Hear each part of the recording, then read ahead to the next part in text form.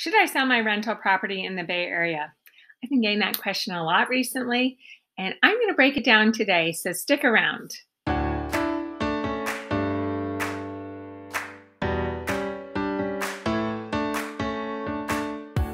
Hi, I'm Annie Baker. I'm a realtor here in the Bay Area, and I do work with investors quite often. And lately, I've been getting a lot of questions about should I sell my rental property in the Bay Area?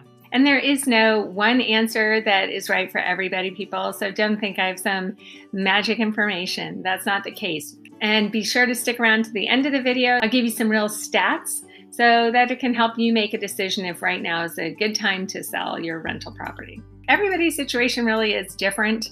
The one thing I do know most of my investors, when they purchased here, they purchased for appreciation, not passive income. So that's kind of something you have to think about what your situation is now moving forward compared to what it was. And I'm going with you've owned this property for at least five years. Rental prices have increased over that time. So maybe you are maybe even making a couple hundred dollars a month after property taxes and a mortgage. And it's been a good return for you. As of the fall 2020, we are seeing some decreases now in rental prices. So, how is that going to affect you and your specific situation? Are you in this for the long haul? Do you live in the area and you can oversee it pretty easily? Even if you have a property manager, it's always nice to be able to drive by and see the condition of your property.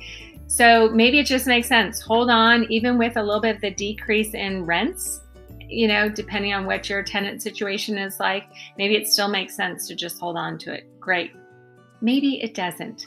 Maybe you're thinking of leaving the area.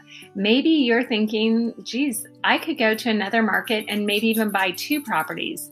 Even if you're not getting passive income from those properties, if you go to a growing area that housing is appreciating somewhat close to the appreciation rate here in the Bay Area, maybe that makes more sense.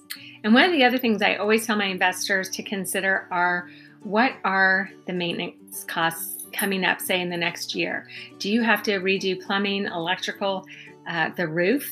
Do you have to do any kind of um, pavement work for the driveway, patios? Sidewalks. A lot of sidewalks are lifting around uh, the Bay Area. They're coming after the homeowners to repair that, or they'll do it at their cost, which is more expensive. Um, what about the water heater? If there's an air conditioner, all the mechanicals.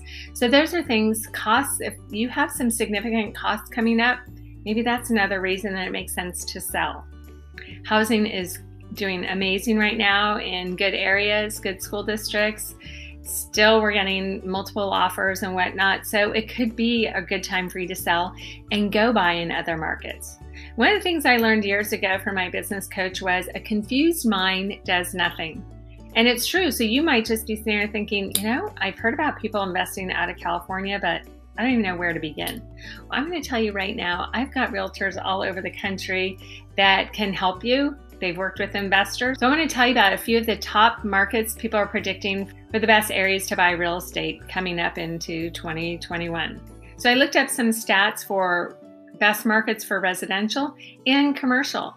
And I did that because if commercial is going to be doing well, that means there's jobs. So people are going to have to move to those areas. So of the top 10 of both reports, there's two cities that are in the top 10 for both of them. So I'm going to focus on them first. We have Austin, Texas, and Dallas, Texas. Austin, Texas has a median home price of $430,000, with a projected 7.7 appreciation rate next year. Dallas, Texas has a median home price of $240,000 with an appreciation rate of 6.1% predicted for next year.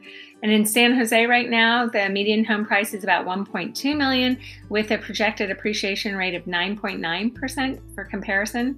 Sunnyvale median home price is 1.7 with a projection of a 9.7 appreciation rate for next year. So I just wanted to kind of give you comparison. Those are two main cities. So you're comparing over a million dollars to essentially half that. You could go buy two, if not three properties in some of the in these other markets with a pretty darn good appreciation rate. Maybe that makes sense for you. You might not only see some appreciation, but you actually might see some passive income. Maybe that's important to you. I'm just going to go over some of the other top cities that people are projecting will be great for residential real estate.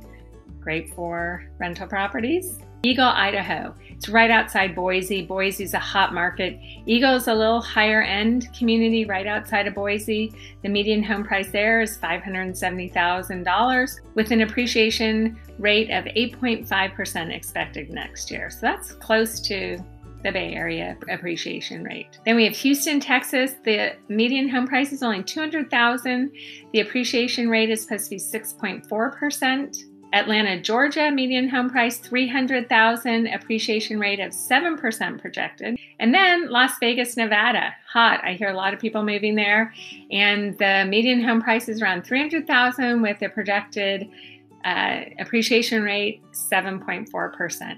So that just gives you some options. So I'm not saying to sell and get out. If you are thinking of selling, let's get you a top sales price and help you do a 1031 exchange, avoid the taxes, possibly buy one or maybe multiple properties in some of these other markets. Maybe buy one house in Austin and one in Boise, Idaho.